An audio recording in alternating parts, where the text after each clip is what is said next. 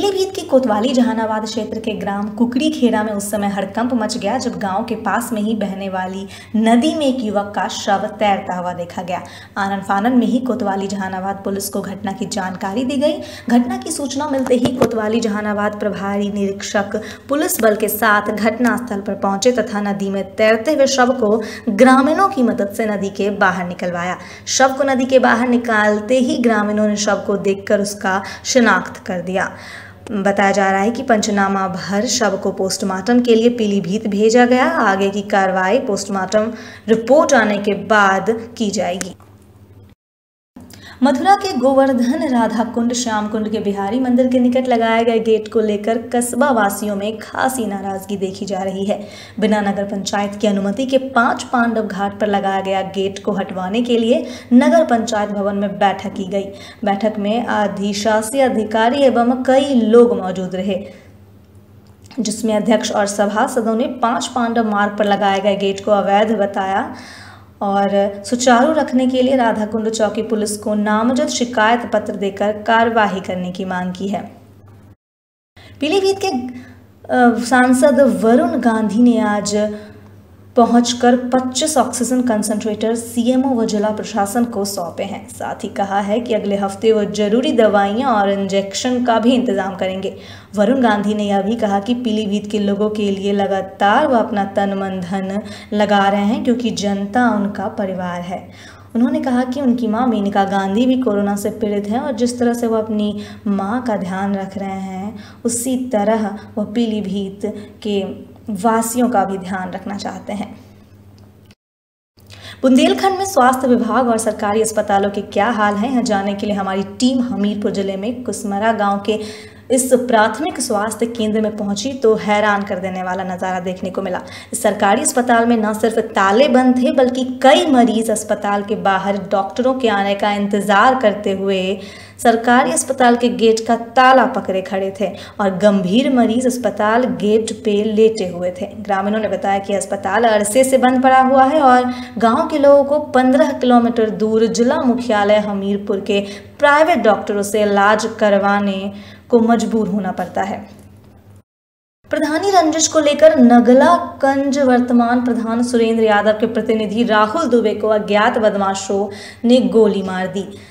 बदमाशों ने पीछे से हमला किया। गाँव नदौली से छिबरा मऊ अपने घर प्रतिनिधि जा रहे थे। रात्रि में बाइक को घेर कर करीब पाँच लोगों ने फायर किया। प्रतिनिधि की हालत गंभीर बताई जा रही है। उनको विशुनगढ़ थाना से महज 500 मीटर दूरी उन पे हमला किया गया था। उनको अस्पताल में भर्ती कराया गया है। गलियों में भरा हुआ पानी व सड़क पर खोदा गया यह गड्ढा ज़िले के पीएससी कॉलोनी के पास अमृत योजना के तहत डाली जा रही सिविल लाइन के लिए है। अब यही गड्ढे लोगों की जान के दुश्मन बन गए हैं। बारिश के कारण इन गड्ढों में पानी भर गया है, जिससे आसपास बने घरों में दरार पड़ गई है और किसी भी दिन कोई भी मकान गिर सकता है, जिससे कि बड़ा हादसा हो सकता है। मोहल्ले के निवासियों ने इसकी शिकायत कई बार काम करा रही संस्था व विभागीय अधिकारियों से की, लेकिन किसी ने इस पर ध्यान नहीं दिया, जिससे लोगों में आक्रोश का माहौल है। ज़मीन विवाद को लेकर पड़ोसियों में हाथापाई देखने को मिली। जी आपको हम बता दें कि खबर बारह सगवर थाना क्षेत्र के पचीशा गाँव का है, जहाँ ज़मीन विवाद को लेकर पड़ोसियों में लात घूसे चले। जी हाँ, युवक और युवतियों के बीच मारपीट देखी गई। महिलाओं व पुरुषों में जमकर लाठी डंडे व ईट पत्थर से एक दूसरे पर वार किया गया। मारपीट का वीडियो सोशल मीडिया पर काफ़ी वायरल हो रहा है।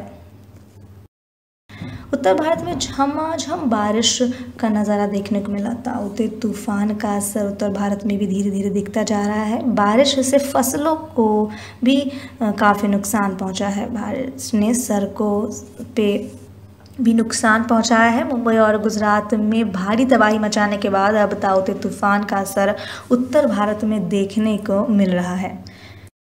डीएम के पहल पर सीएमओ कार्यालय परिसर में सर रहे तेरह मिनी ऑटो चालू होने वाले हैं। इनके जो मरम्मत हैं, वो शुरू हो चुके हैं।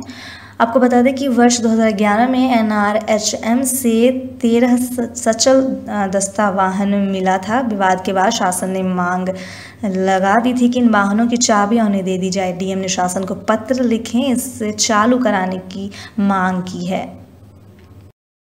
वैक्सीन लगवाने के लिए धक्का मुक्की देखने को मिली। जी आपको बता दें कि वैक्सीन लगवाने को लेकर लंबी लाइन लगी हुई है। सोशल डिस्टेंसिंग की धज्जियाँ हो रही हैं। स्वास्थ्य विभाग के आला अधिकारी भी मूक दर्शक बन के खड़े हैं।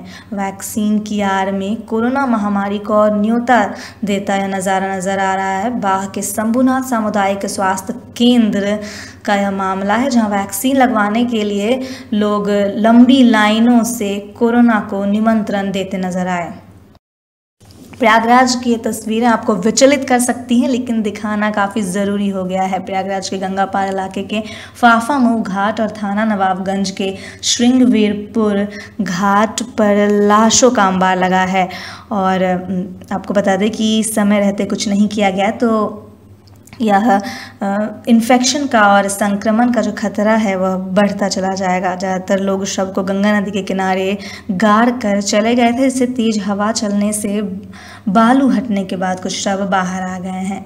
ये वही जगह है जहाँ पर्यटक और श्रद्धालुओं की संख्या बड़ी देखी जा सकती थी।